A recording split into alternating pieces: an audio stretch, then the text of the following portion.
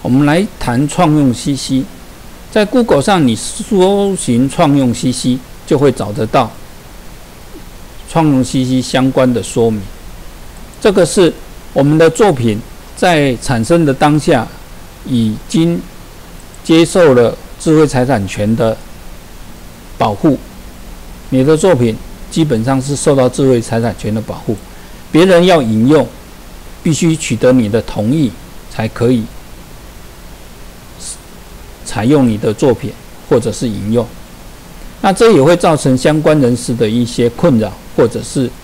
有些人对你的授权条款也不是很清楚，所以我们发展，现在我们大力推广创用 CC 这个授权方式，让其他人很快知道你这个作品是属于哪一种，是可以引用还是不能引用，还是相关规定。我们来看一下，第一个属于标示姓名标示的部分，如果你作品只要标示姓名，就接受人家。的一些引用或者是拿来使用的话，你就可以选用这张图示。那你也可以加上非商业性，我让你用，可是不准你做商业行为，好，这也可以。然后这边有相同方式分享，我让你用，不让你做商业行为。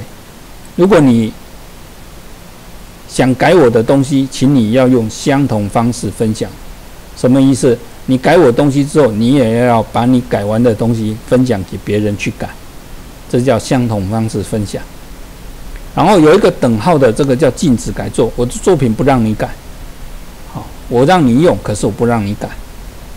好，再来一个是，我说，请你要标示姓名，然后不准做商业行为，也不让你改。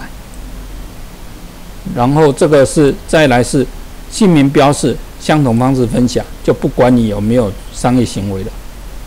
好，这几大类大致上够我们目前所谓的呃智慧财产权的一个分类标示，这个大致上大家都够。好，另外有一个公共领域的授权方式，这也是值得去探究的哈。如果你更 open 一点，就什么都不要管，就是所谓的把你的作品放到公共领域去。这是创用 CC，你可以把这些图片下载下来，放进 Scratch 你的作品里面，人家一看到马上就知道了。好，这是创用 CC 还不错的东西，建议大家你在你的作品上面要分享的时候，你应该做一点标示。